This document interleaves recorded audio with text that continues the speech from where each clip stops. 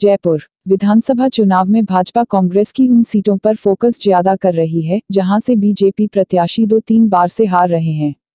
ऐसी सीटों को जीतने के लिए पार्टी ने बड़ी रणनीति तैयार की है। बीजेपी के लिए हमेशा से ही मुश्किल में रही ऐसी सीटों को फतह करने के लिए पार्टी जातीय समीकरण पर ध्यान दे रही है। ऐसी ही एक सीट है बीकानेर की नोखा, जहाँ से रामेश्वर डूडी विधायक है और नेता प्रतिपक्ष भी।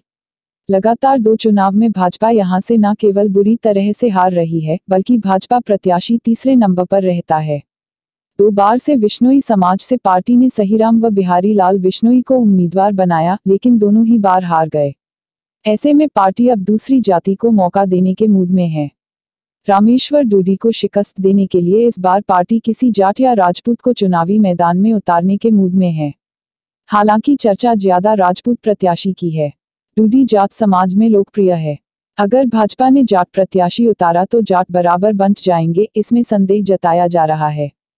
क्योंकि डूडी की जाट समाज में काफ़ी पैठ है और समाज भी कांग्रेस से जुड़ाव ज़्यादा रखता है। जाट और विष्णुई के बाद सर्वाधिक वोट राजपूत समाज के है। राजपूत समाज के नेता भी काफ़ी दावेदारी कर रहे हैं। पश्चिमी राजस्थान में राजपूत समाज भाजपा से काफ़ी नाराज़ चल रहा है। ऐसे में पार्टी नोखा सीट से किसी राजपूत को टिकट देकर समाज को साधने की कोशिश करेगा। आनंदपाल एनकाउंटर के बाद बीकानेर, चुरू, नागौर व झुंझुनू के राजपूत समाज ने काफ़ी आंदोलन किया था। बीजेपी के खिलाफ मूवमेंट भी इन्हीं जिलों में ज़्यादा एक्टिव है।